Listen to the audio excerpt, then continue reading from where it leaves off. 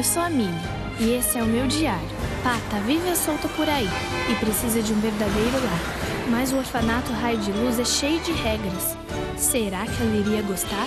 Vem aí, Chiquititas, mais um sucesso para você compartilhar com a sua família.